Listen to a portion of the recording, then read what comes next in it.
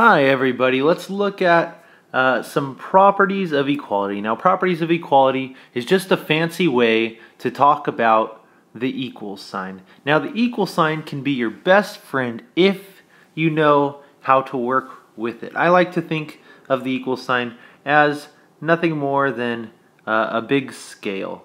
You've got uh, you have the potential to put things on both sides. Now if you want to keep things balanced and equal, you have to put exactly the same thing on each side. So uh, let's say I, I, have this this uh, black arrow over here, this black amount. I need to put that same amount over on the left side. Let's say I put in uh, let's say I put in two blue arrows. I have to put exactly two blue arrows on this side. Now can I just pause for one moment and just point out how darn impressive my drawing abilities are? My goodness, I am amazing. Okay, well, um, let's let's go ahead and as as sad as it is, let's um let's take out my scale here and my my beautiful arrows and let's picture the properties of equality as uh, let's say money. Let's say uh, I had one dollar here. Now, whenever you have something equal something else, it doesn't necessarily have to look the same. Let's say on the right side here we had four quarters. Each of these are 25 cents. Now, let's say I added a nickel on this side. If I want to keep things equal, I have to add a nickel on this side. If I add, let's say, a penny on this side, I can't add a, a nickel over here because that won't be equal. So, uh, of course, I have to add a penny on this side. Uh, let's say I subtract, let's say I get rid of a dollar on this side. Well, I have to take out the same amount on the other side because I want everything to remain equal. So, uh, in, in essence, the properties of equality is just saying do the same thing on both sides of the equal sign. We are going to take a look at five different uh, properties of equality, starting with the property of addition. Here we have 3 plus 5 equals 8. Um, let's say I added 2 to the left side and I added 2 to the right side. Now I have 3 plus 5 plus 2, which is 10, equals 8 plus 2, which is 10.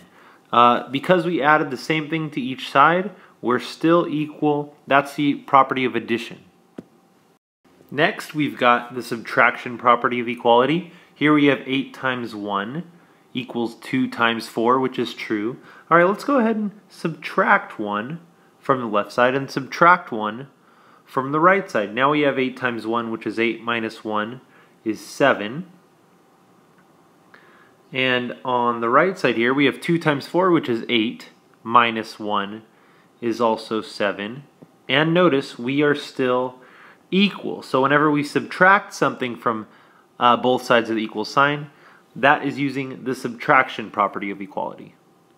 Let's move on to the multiplication property of equality. Now you might be catching on, but this is going to deal with multiplication. Here we have 3 equals 3. Well, that's pretty straightforward. That's true. Let's go ahead and multiply each side by 2. So I multiply the left side by 2. I multiply the right side by 2. That's going to give me 6 on the left and 6 on the right, which these are still equal.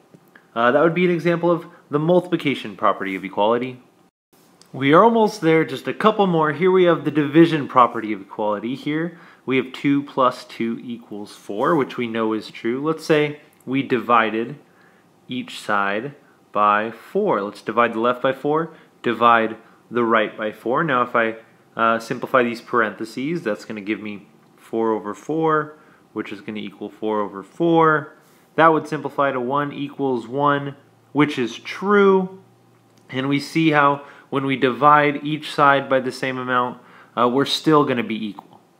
Last but not least, we have the distributive property of equality. Now, uh, let's take a look at this example here. We have 2 times parentheses, 3 plus 5 is equal to 16. Now, if we simplify this without distributing, we do these parentheses first, which would give us 8, and we'd still have this times 2 equal to 16, which would be true.